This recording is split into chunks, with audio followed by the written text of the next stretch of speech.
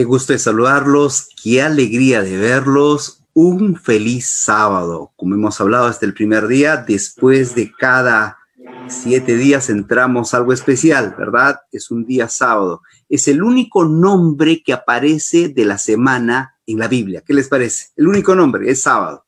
Por eso ahora mismo vayan a traer sus Biblias, inviten a la familia, Pónganse alrededor, vamos a estudiar juntos. Estos viernes hemos estado estudiando con todos ustedes acerca de la Biblia, cómo interpretarla, cómo entenderla y cómo hacer de ella un libro tan amigable para nosotros, que podamos abrir sus, sus páginas. Y esta oportunidad está con nosotros tres invitados muy especiales. Tenemos a nuestro lado aquí al doctor Terreros, Marcos Terreros, quien es el vicepresidente del CETAI. El CETAI es un seminario teológico allí en, en Centroamérica.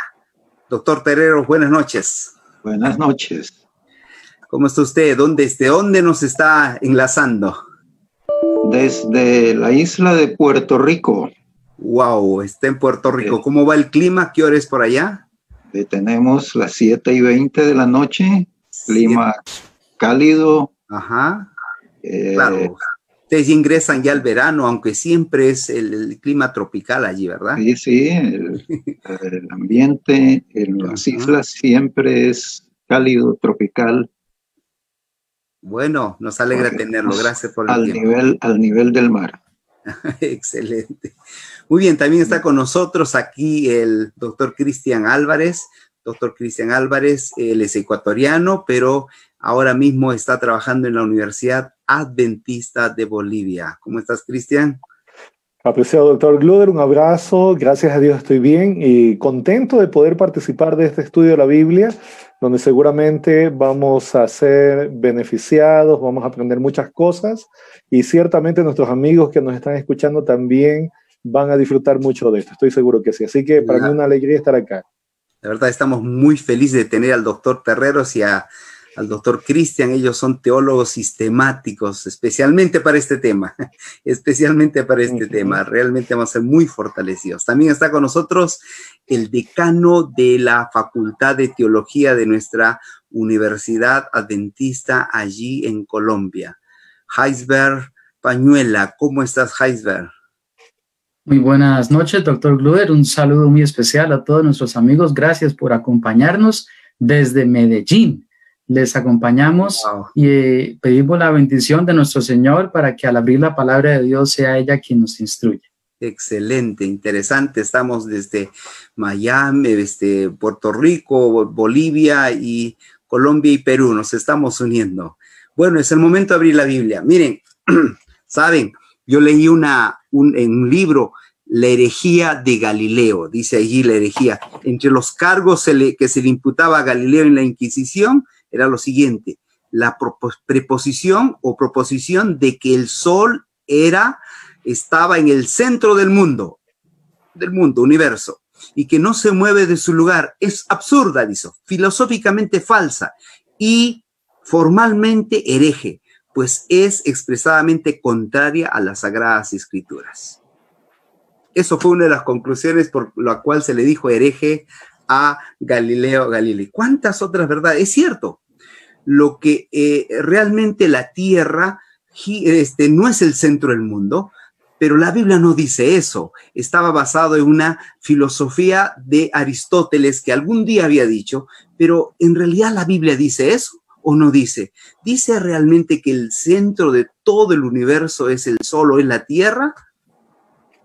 Hay algunas cosas que podríamos interpretar mal, como otra. Por ejemplo, cuando yo leo aquí Apocalipsis capítulo 7, versículo 1 dice, después de esto vi a cuatro ángeles de pie sobre los cuatro ángeles de la tierra, deteniendo los cuatro vientos de la tierra, para que no soplasen ninguno sobre la tierra, ni sobre el mar, ni sobre árbol alguno. Algunos fundamentan con este texto que la tierra es plana. ¿Qué cree usted, doctor Terreros? Bueno, sí, es una creencia que por el hecho de mencionar ángulos eh, la tierra, o, mejor la Biblia, está favoreciendo una cosmovisión que no sostiene las sagradas escrituras, es decir, que la tierra es plana. Al hablar de cuatro ángulos se piensa en un cuadrilátero, en un rectángulo o en un cuadrado. Pero eh, lo que necesitamos observar es que estas palabras están en el contexto de un libro como el Apocalipsis, es altamente simbólico. Hmm. Está lleno de símbolos y de lenguaje simbólico que hay que interpretar y que no hay. Eh, así que esta es una figura del lenguaje utilizada por el apóstol Juan, el autor del Apocalipsis, para referirse a los cuatro puntos del compás o a los cuatro puntos cardinales. Pero no es una afirmación de que la Tierra sea plana. Eh, Cristian, ¿qué evidencias tenemos que este libro nos diga que la Tierra es redonda en todo caso? Eh, buena pregunta, porque efectivamente hay un texto allí en Isaías, capítulo 40, versículo 21-22, que afirma eso. Eh, y, tenemos otras evidencias, podemos respaldar esto. Voy a leer ahora Isaías capítulo 40, versículo... la Biblia, vamos. ¿Ah? Isaías 40, 21 y 22. Voy a leer. Dice así, eh, no sabéis, no habéis oído, nunca os lo han dicho. Desde el principio no habéis sido enseñados, desde que la tierra se fundó. Él está sentado sobre el círculo de la tierra, mm. cuyos moradores son como langostas. Él extiende los cielos como una cortina, los despliega como una tienda para morar. Allí está diciendo claramente que, que la tierra es un círculo Dios está sentado sobre el círculo de la tierra y evidentemente esto es lo que la Biblia nos dice. Así que tomando lo que el doctor Terreros ya nos ha dicho, que estamos hablando de los cuatro eh, puntos cardinales, el lenguaje figurativo, más este texto que nos muestra que la tierra es redonda, entonces no tenemos ninguna contradicción en lo que nosotros sabemos de la cosmología actual. ¿Podemos agregar algo más, Heisberg? Claro que sí, es muy cierto lo que dicen mis compañeros y resulta que hay un punto muy interesante para resaltar en cuanto a la simbología. Los números en la Biblia, eh, algunos de ellos son especialmente simbólicos o representan algo. El número 3, el número 7, el número 10, el número 12 y el número 4. ¿Por qué creen ustedes que en Génesis 2, por ejemplo, hay los cuatro vasos del río? Eh, simplemente era porque sí, no, es que el número cuatro representa que el río regaba toda, se expandía toda la tierra. Y hay un texto muy en particular y quiero invitarles a leer que es Isaías capítulo número 11, el verso número 12. El número cuatro en la Biblia simboliza, como decía el doctor Terreros, los cuatro puntos cardinales. Fíjense el número 12. Leo Isaías 11, verso número 12 y levantará pendón a las naciones y juntará los desterrados de Israel y reunirá los esparcidos de Judá de los cuatro confines de la tierra. Número cuatro es un, es un elemento que señala las direcciones de, la brújula, pero no está hablando, por supuesto, en términos eh, de, una tierra plana. De hecho, es muy curioso que hoy día la gente crea, crea eh, eso porque esa creencia surgió en el siglo XIX. Algunos pueden, pueden eh, argumentar, no, surgió en la Edad Media o surgió por allá en la edad eh, de la Edad Cristiana, pero no hay evidencia que la gente creyera en la Tierra plana. Al contrario, se creía que la Tierra era circular, pero la, Tierra plana, esa teoría surgió en un debate acalorado cuando eh, Carlos Darwin sacó su teoría y popularizó su, su, idea de, las, eh, eh, em, de la evolución y esa teoría surgió como un elemento para de, quitar mérito a los teólogos que estaban batallando en contra de esta teoría y desde allí pues eh, esta teoría de que la Tierra era plana o que se creía que la Tierra era plana es, es muy popular, pero no tiene asidero histórico en, en eruditos medievales o en la iglesia cristiana. En realidad la revolución francesa rompió muchas cosas, ¿no? El despertar de la razón, entre comillas, y comenzar a poner a un lado este sagrado libro. Y justo la época del siglo XIX aparecen muchas, muchas teorías que todavía quedan eco hasta ahora nosotros, ¿verdad?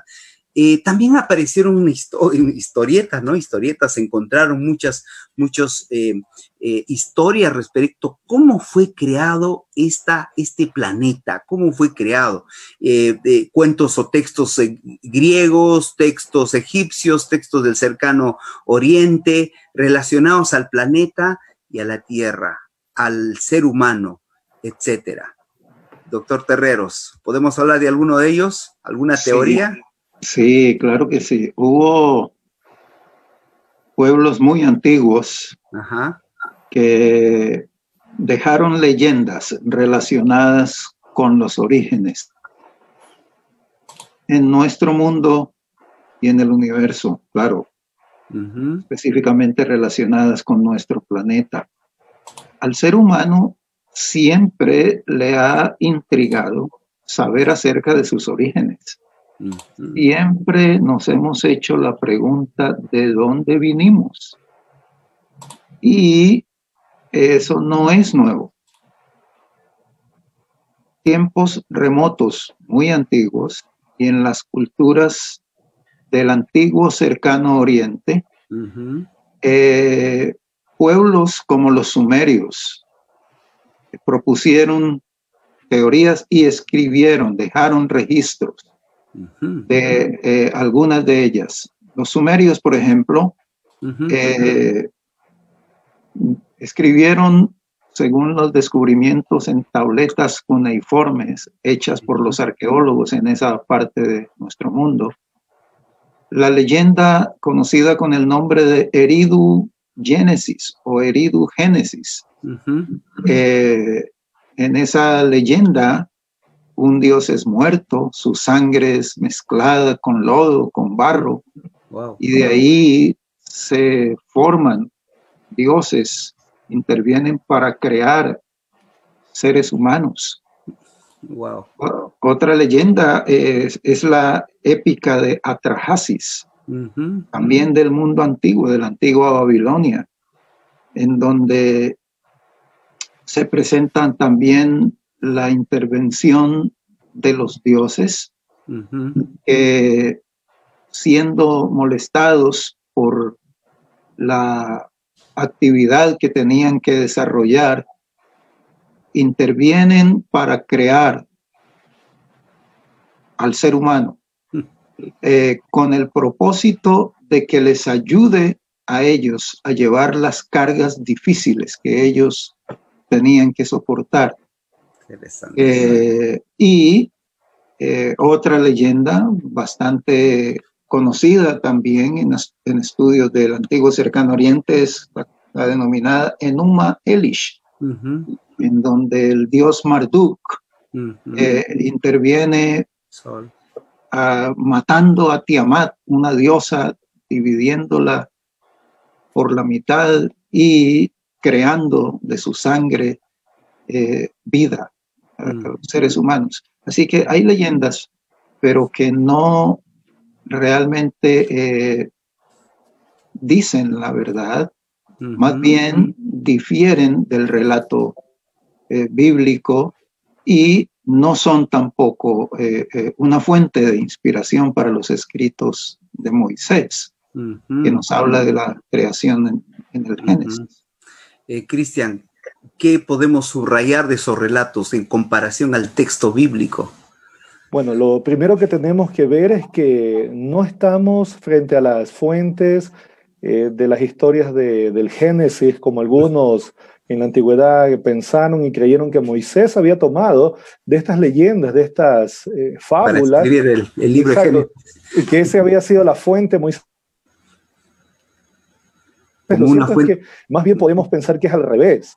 Claro. Eh, exacto, es al revés. en realidad se distorsionó una, una, información correcta de la creación y se, de alguna manera, se diseminó en forma de leyenda en los pueblos antiguos y ellos crearon sus historias, sus ideas. Cuando aparece Moisés, allí escribe en el siglo XV antes de Cristo, en realidad por inspiración lo que hace es corregir eh, la, la, realidad de la existencia del mundo. El mundo llega a existir tal como dice Génesis por un acto creador de Dios, no por una lucha entre dioses, no por una... No por sangre, ¿no?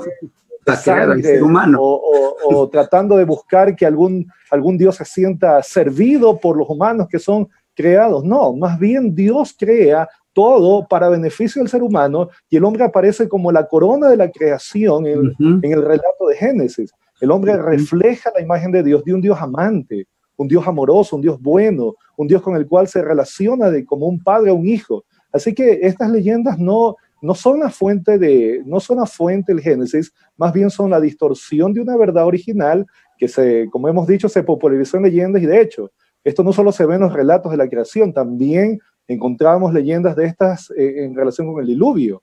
Allí hay, una, hay, un, hay un famoso mito que se conoce como la epopeya de Gilgamesh, que nos habla precisamente del diluvio, y, algunos han dicho lo mismo, ¿no? que ahí de allí tomó Moisés, pero no, en realidad es la evidencia de que la humanidad nunca olvidó el diluvio, jamás olvidó el diluvio, y por eso existe allí, y existen las leyendas de otros pueblos, pero Génesis nos está presentando la información correcta que nos ha llegado por medio de la inspiración divina.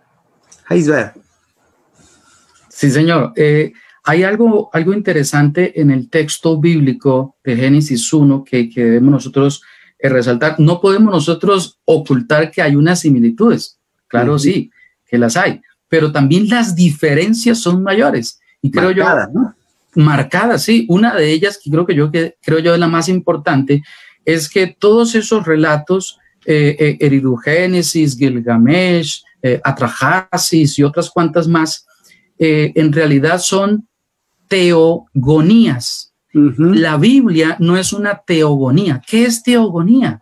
Origen de los dioses. La Biblia comienza diciendo en el principio Dios. La Biblia no dice y no, trata de explicar de dónde viene Dios, cómo fue que surgió, cómo fue que apareció, pero los otros relatos generalmente tienen ese propósito de decir de dónde vienen esos dioses. Y esos dioses generalmente vienen de los fluidos de otros dioses o de, alguna fuente eh, preexistente. Pero mm. Dios en el relato de Génesis 1 presenta claramente eh, eh, su soberanía, su gobierno y la inspiración del texto no nos da espacio para hablar de teogonías. Sí es cosmogonía, pero no es teogonía. Eso es un punto interesante para resaltar. El otro punto interesante para resaltar, y es lo que eh, hace eh, marcada diferencia también con las otras, eh, con otros relatos, es que el, el, relato de Génesis, Dios es totalmente separado, es diferente de la materia. Dios crea ex nihilo. Ese término significa de la nada. Dios mandó y fue. A diferencia de los otros relatos, hay, hay una mayoría de ellos hablan de creación partiendo de, ¿cierto? Con elementos preexistentes. Otro elemento importante, por ejemplo, es que eh, el, capítulo 1 de la creación, cuando habla de los astros, no habla de sol y luna. Eh, obviamente el escritor quería evitar la confusión con la adoración astral no menciona los términos hebreos eh, y, Shemesh, que son dos términos para hablar del sol y la luna, sino habla de lámparas. Utiliza la palabra Maor, muy interesante porque es la misma palabra que se utiliza en el santuario. Pero el escritor de Génesis habla de la lámpara o las lámparas, pero eh, no habla, eh, sí, no habla en términos de sol y luna. Eso es un, un elemento eh, antimítico. Y un último elemento, el gran verbo el verbo quizás más importante de Génesis 1 es el verbo bará. Eh, el verbo bará en el capítulo 1 habla de tres elementos importantes que Dios ha creado. Número uno, introduce la creación, ¿no? Bereshit bará, Dios creó una manera portentosa, maravillosa, algo nuevo, algo espectacular. Lo otro que Dios bará está en el capítulo 1, versículo 26. ¿Qué fue lo que bará Dios? 26, 27, allí la creación del hombre. Dios hizo al ser humano. Pero hay un tercer elemento y está en el versículo 21. Y, oh sorpresa, Dios vará los monstruos marinos. Y uno dice, ¿y por qué Dios inspiró a Moisés para específicamente utilizar para hablar de los monstruos marinos, porque es que ese término hebreo que aparece allí para describir los, los animales o los monstruos marinos se utiliza en el resto de la Biblia para referirse al gran monstruo marino o al dragón, aquel que es antagónico y que está en las aguas del abismo y que quiere oponerse a Dios. Dios lo creó. De allí, de una vez, manda un mensaje a los lectores que les dice, vean, no hay que adorar eh, los, los ciertos, los, los, los, las lumbreras porque Dios las creó, no son, no son dioses. No hay que adorar, no hay que tener miedo a ese animal, a ese dragón, no, no, no, no, Dios, Dios lo creó. Entonces, hay elementos que son polémicos del escritor de Génesis 1 en contra de la cultura propia del antiguo cercano oriente. A ver, ¿me ayudan? El dios eh, Sol para los babilonios, ¿cómo se llamaba? Marduk, ¿verdad? Sí. El, dios, el dios Sol para, o sea, Sol eh, para los egipcios. Ra. y eventualmente también Atón. claro, Atón también. El dios Sol para los incas el Inter. Tú eres, el especialista. También, ¿no? Entonces, el autor es interesante, es increíble, ¿no? El autor Moisés evitó de utilizar la palabra sol, porque para no ser relacionado con los demás, los demás grupos religiosos, por decirlo así, paganos que allí adoraban al sol. ¿Sabe qué? Estaba muy interesante esto, lo que estamos tocando ahora, pero vamos a volver porque esta semana hemos estado comenzando a mirar cómo ese Dios tan maravilloso que creó los cielos, la tierra y todo lo que hay, nos ha creado de una forma amorosa, de una manera que podamos relacionarnos con Él, no algo separado, sino que podamos ser parte de un plan especial que Él tiene para los seres humanos. amorosa y especial y especial. Porque el ser humano no es un pensamiento posterior como en el caso de los otros relatos no inspirados, en los que el hombre aparece para cumplir un propósito eh, que beneficia a los dioses, utilitarista. No, Dios se interesa en hacer a alguien a su imagen y semejanza como se le ha denominado tradicionalmente con razón la corona, la obra maestra, la obra especial, la cúspide de su creación. Amén. Nos formó y se interesó personalmente en nuestro bienestar. De hecho, ustedes deben tener en mente cómo todo fue preparado antes, este planeta fue preparado con todo su ecosistema para recibir al ser humano, al hombre y a la mujer para que lo disfrutaran y lo administraran. Y de hecho, de eh, nosotros, tal vez saber a, a este Cristian. Sí, eh, justamente esa es la razón eh, por la cual Dios hizo todo en siete días, porque Dios podía haber creado todo de una sola vez, podía haber dicho todo sea, que el mundo sea perfecto y ¡tum! Pero Dios estaba preparando en realidad un lugar, está, estaba preparando el tiempo que nosotros utilizaríamos eh, en nuestra convivencia, en nuestra semana diaria, todo estaba siendo preparado para el hombre. Así que eh, es muy diferente el relato del Génesis cuando uno los compara con los relatos, eh, las leyendas babilónicas, porque aquí se ve que Dios tiene al hombre en mente desde el comienzo, desde el principio hasta que aparece precisamente como la joya del relato bíblico. Es muy probable que la mayoría de los que nos están mirando ahora haya sido nuevo estos relatos babilónicos, egipcios, y tal vez nunca lo han escuchado, pero sí hemos escuchado siempre de la creación divina. Eso ya es una prueba que el relato que hay en la Biblia es verdadero. No te vayas, porque Dios está esperando que nosotros tengamos una mente, pero una mente saludable. Ve este video, por favor.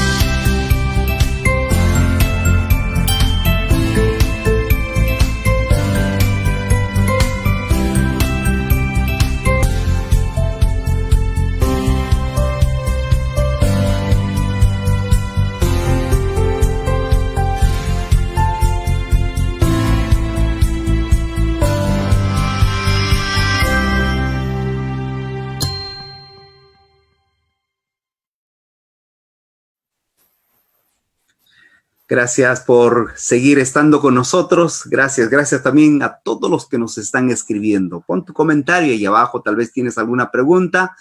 Es bueno que todos aprendamos. Gracias por estar en diferentes lugares y estar acompañándonos en este momento especial. Pero también queremos decirles que en medio de esta cuarentena tenemos una noticia triste, pero con esperanza. Un compañero nuestro de aquí de la Universidad Peruana Unión, este, asunto de salud, está descansando.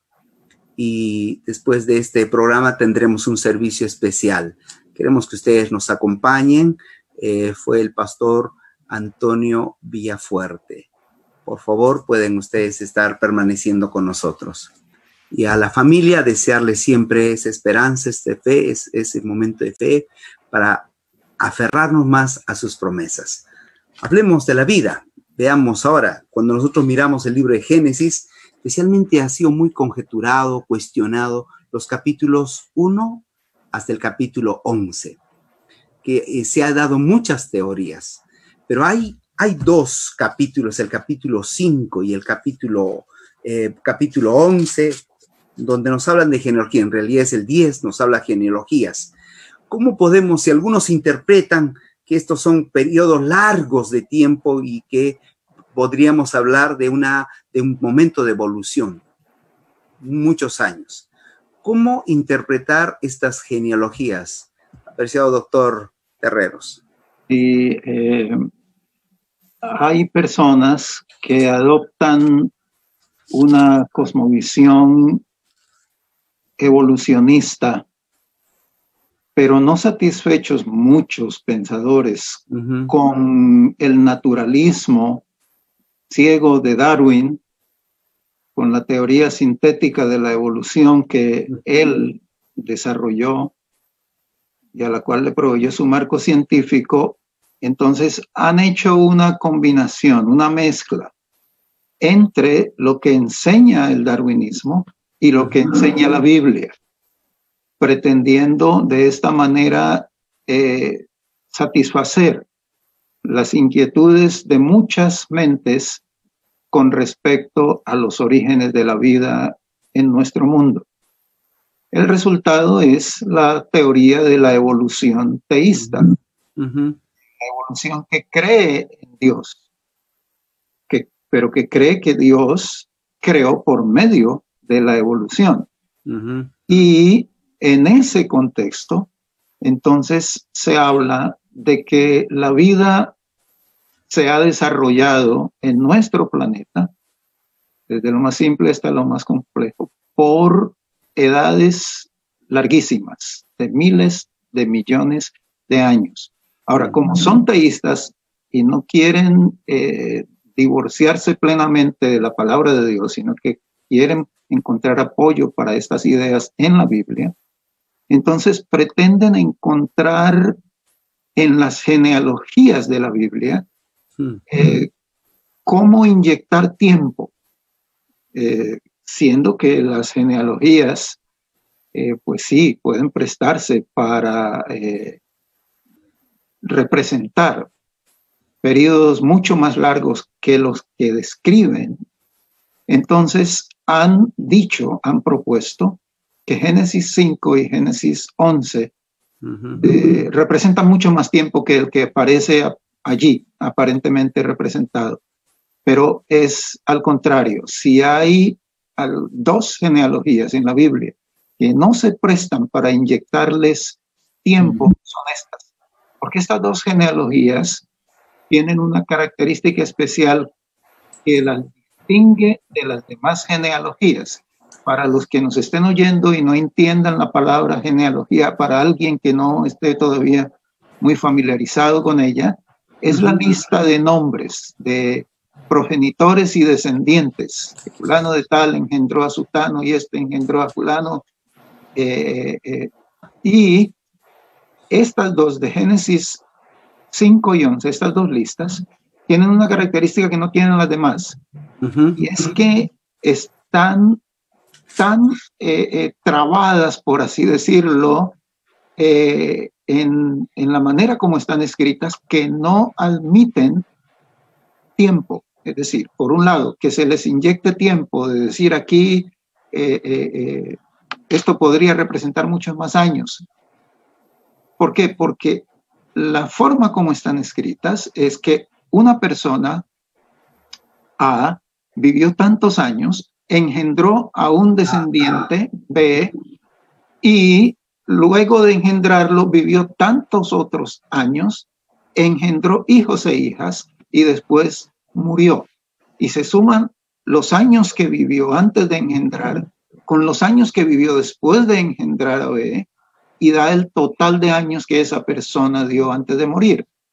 Eh, ese es un modelo, un patrón que fue descubierto eh, y que destaca la, naturaleza de esas genealogías como especiales. Así han sido denominadas cronogenealogías.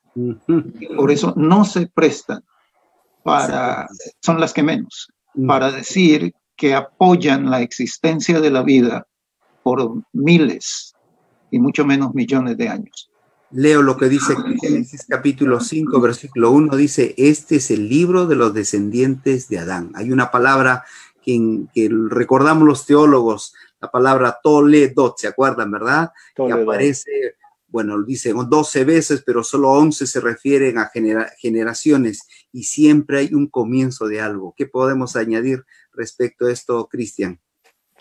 Bueno, de hecho, eh, nosotros tenemos eh, esta, estos desafíos al texto bíblico a partir del mitad del siglo XVII para acá, XVIII para acá. Eh, de ahí para acá se plantearon desafíos al texto de Génesis. ¿Por qué? Porque se impuso al texto bíblico lo que se conoce como el racionalismo. Es decir, es, es, decir, la razón es el juez de todo y todo, todo lo que no encaja, todo lo que son milagros, todo lo que no puede demostrarse por medio de la razón, tiene que descartarse o reinterpretarse como un mito, como una fábula, como algún, alguna literatura religiosa que sirve para transmitir alguna enseñanza. Es así como muchos teólogos han interpretado Génesis, sobre todo el capítulo 1 al 11. Para ellos muchos de esos, de hecho, los relatos que están ahí son mitológicos o fábulas uno lee algunos libros de algunos eh, pensadores de, esta forma de interpretar el Génesis y para ellos sencillamente sirven para transmitirnos alguna idea. Sin embargo, nosotros ya hemos estado estudiando los, los días anteriores que el Génesis no es mito. La forma de escribirse tiene elementos que nos muestran que es un documento histórico. Y la forma como se escribe, eh, yo ahora que estoy eh, he estado eh, enseñando hebreo aquí a los chicos, tiene la prosa más seca, más pura. No, no es mito, no, no tiene la esencia de los libros, eh, por ejemplo, sapienciales, no, es prosa pura. ¿no? Precioso. correcto. Tenemos todos estos elementos que nos muestran que estamos frente a un documento realmente histórico. Y como dice el doctor Terreros, las genealogías se suman a esto para mostrar precisamente que la historia que están contando es una historia fidedigna que no admite, y tal vez yo puedo añadir algo, tal vez eh, cuando uno compara con crónicas, con Mateo, es posible tal vez una, un nombre, algún otro nombre, ponerlo allí. Es posible porque uno puede darse cuenta que algún nombre u otro aparece y no aparece en otra genealogía. Eso quiere decir que no están 100% completas, pero no estamos hablando, no estamos hablando de mitos, que es otra cosa, no estamos hablando de leyendas, estamos hablando de información fidedigna que no admite tampoco largos espacios de tiempo como para volver la historia bíblica de miles y miles de años, sino que eh, sencillamente están marcados dentro de un periodo más o menos de 6.000 años, como dicen los estudiosos. La Biblia tiene el Antiguo Testamento y el Nuevo Testamento. Los escritores del Antiguo Testamento, antes de Cristo, a lo último que se escribió, 400 años aproximadamente antes de Cristo, los últimos profetas, ¿verdad? Y luego viene el Nuevo Testamento, ¿verdad? Básicamente el siglo primero. Hay dos tipos de autores aquí que no se conocieron el uno al otro, pero sí leyeron el uno al otro. La pregunta sería, Heisberg, ¿qué dicen los escritores del Nuevo Testamento respecto a la, a la creación? Esa es una pregunta eh, muy, muy pertinente y conecta precisamente con lo que veníamos discutiendo. Permítame rápidamente regreso a, la palabra que usted mencionó, la palabra Toledot, porque la estructura del libro del Génesis está precisamente eh, armado, toda su narrativa con esta palabra, y esta palabra introduce todas las genealogías de los personajes de, eh, de carne y hueso, personajes reales.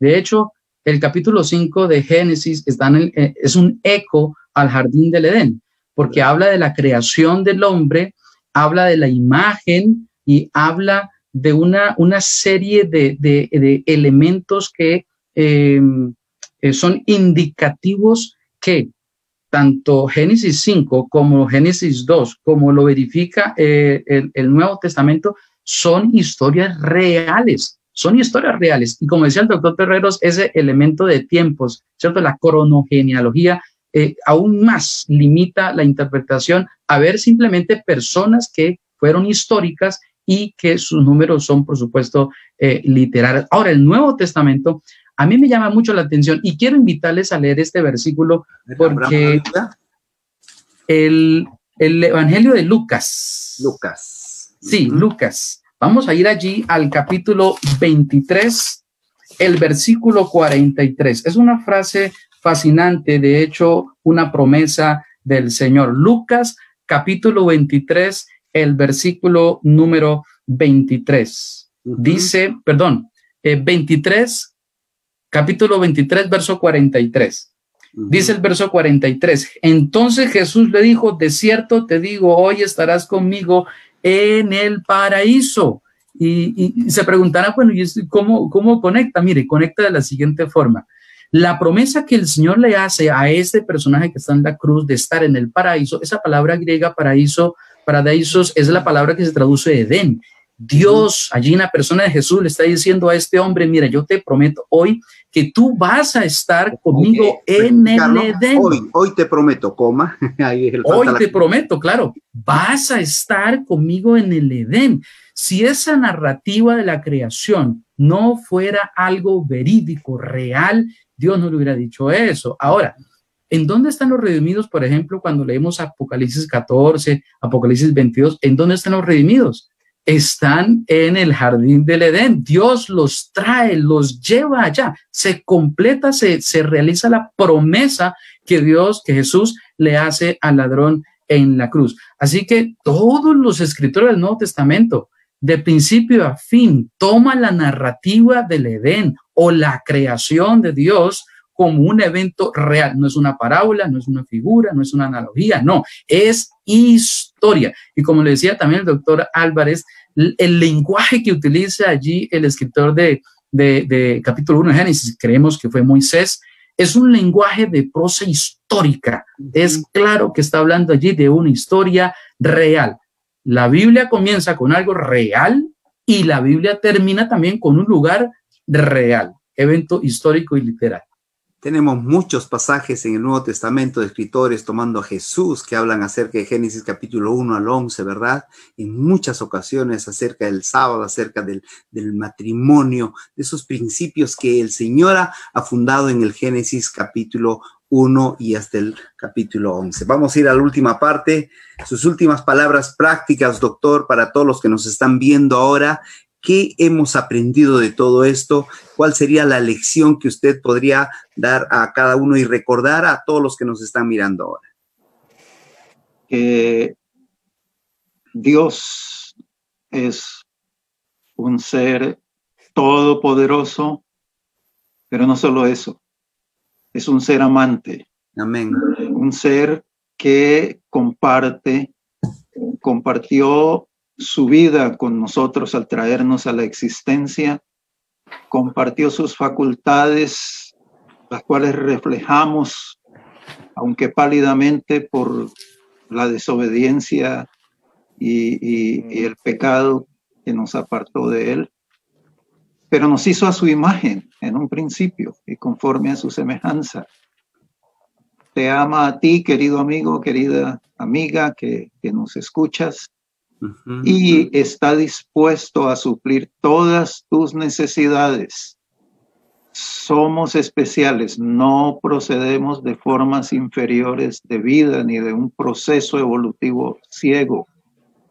Hemos sido creados por un Dios personal como seres especiales y Él quiere mantenernos como tales y una vez que el pecado sea erradicado de la tierra, volvernos a esa bondad y perfección original con que Él nos creó. Así que eh, rechacemos las propuestas meramente humanas. Rechacemos las filosofías del hombre y vayamos a la verdadera fuente de inspiración que Dios nos ha dado para ilustrarnos acerca de nuestros orígenes, que es su palabra. Vayamos a la Biblia y allí encontraremos nuestros orígenes elevados, encontraremos verdadero sentido para nuestro existir, para nuestro presente y también esperanza para el futuro. Doctor Cristian.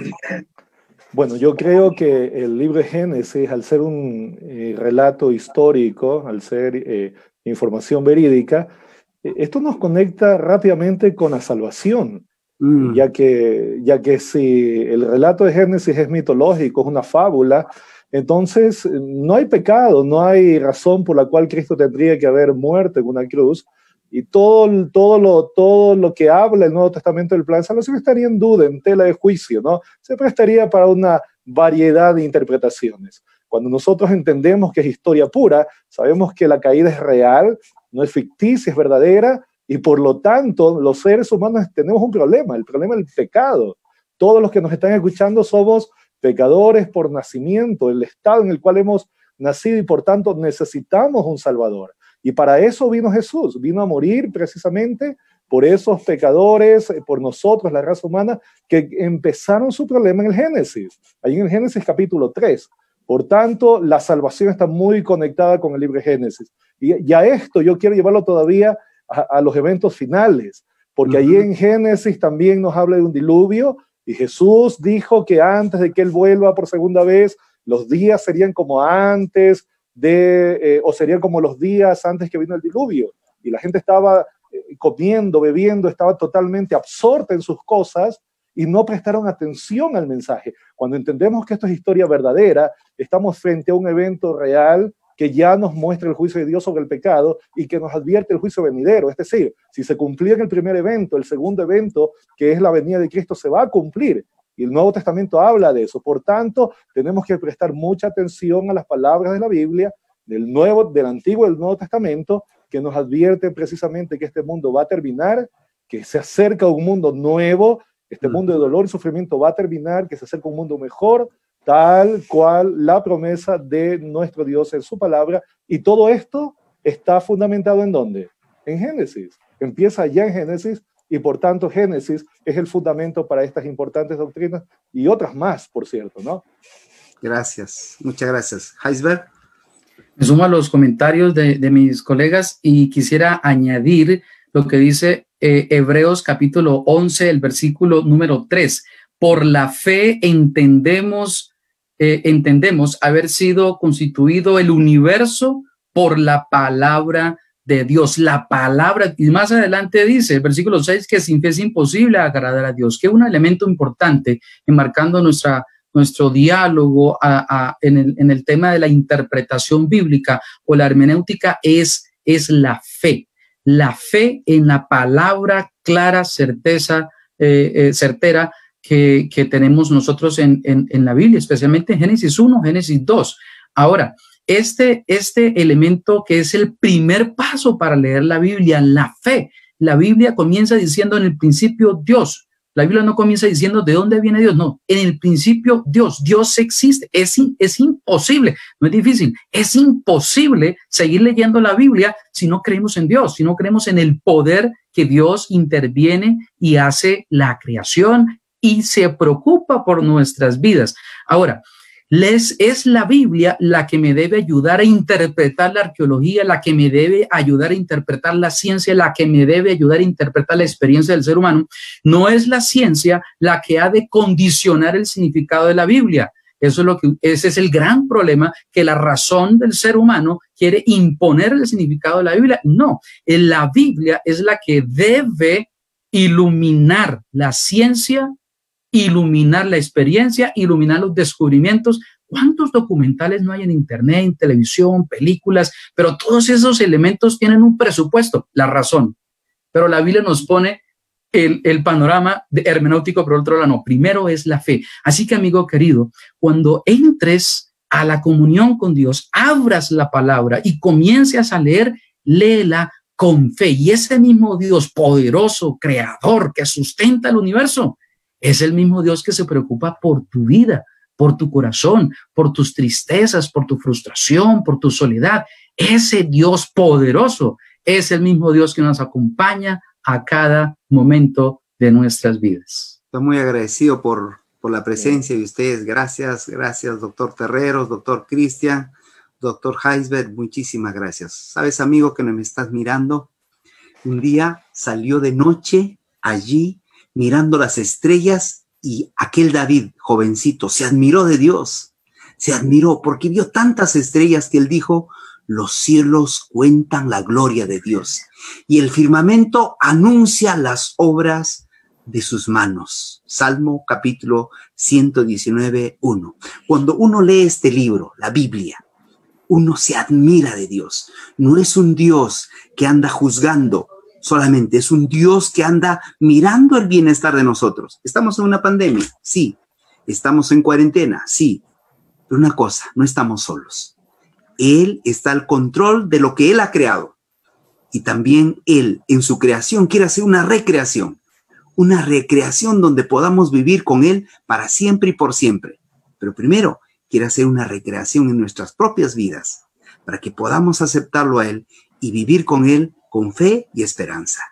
Quiero orar por ti esta noche, para que en el hogar, si alguien está enfermo, alguien tal vez tiene desconfianza, tiene dudas de lo que está pasando, pueda acercarse a Dios y decirle, Señor, quiero conocerte más a ti. ¿Podemos orar? ¿Puedes cerrar tus ojos ahí donde estás, por favor? Vamos a orar. Querido Padre, Gracias por tu amor. Gracias. Gracias porque eres, porque eres bueno. En tu bondad nos has creado. En tu bondad tú tienes un futuro mejor para nosotros. Esa es la bondad, lo amoroso que eres. Gracias por mostrarnos en la Biblia que tú eres un Dios de amor. Gracias, Señor. Queremos vivir en ti por fe pero con una esperanza de algún día encontrarnos contigo, cuando tu Hijo Jesús vuelva a esta tierra. Si alguno hay, Señor, que en estos momentos en alguna casa enfermo, tal vez desconfiando, triste, agobiado, por favor, toca el corazón de esas personas y al sentir que no están solos, que hablen contigo, conversen contigo. Quédate en ese hogar, en el nombre de Jesús. Amén. Muchísimas gracias, nos vemos el próximo viernes. Buenas noches.